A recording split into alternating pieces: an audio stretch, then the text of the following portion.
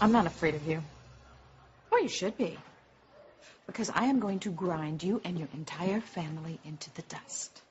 So back off and leave Ethan alone. No, I'm not going to do that. Fine, then suffer the consequence, which, need I remind you, is death. You know what, Rebecca? Your threats, they mean nothing to me. I love Ethan. I'm not going to give him up because you and your daughter found out some old secret about my mother. I'm not giving in to blackmail. Hmm. Well, why don't you uh, ask your mama about that, huh? Pilar? Listen to her, Theresa, please. Give up Ethan forever or we're all doomed.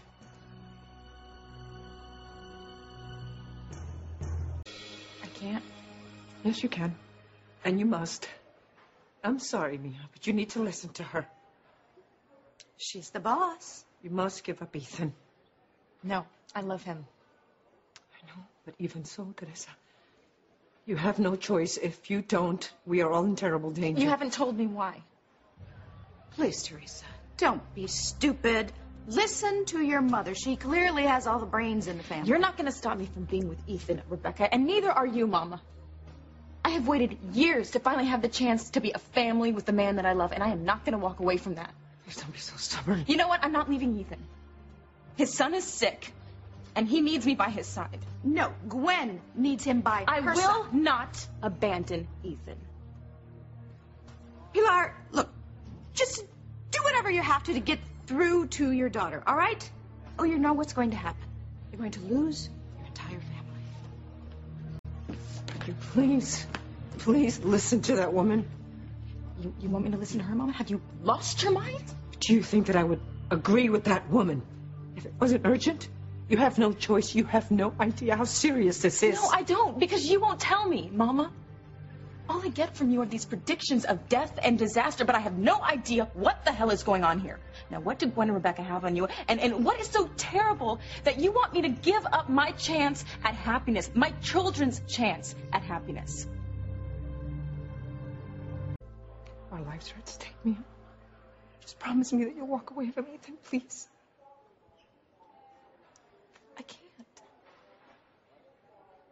You know what? I'm not going to let Rebecca and Gwen control our lives. We can stand up to them, Mom. And you know what? I will protect us. You don't understand. You can't protect us. They won't stop. Who won't stop? Never mind. Just listen to me, please.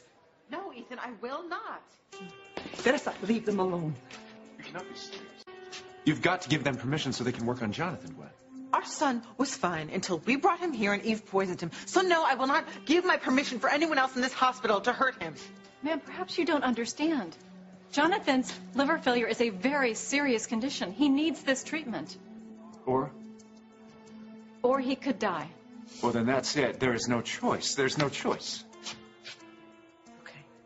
Can you guarantee this new treatment will absolutely 100% save my son's life? We will do the very best we can. But as I said, there are risks. Forget it. Forget it. Without this treatment, your son will get worse and worse. He will be in pain and he will not get better on his own. He has to have this treatment. Will you listen to this woman, please? And let these butchers near him? No way. What do you mean I'm not Jonathan's father?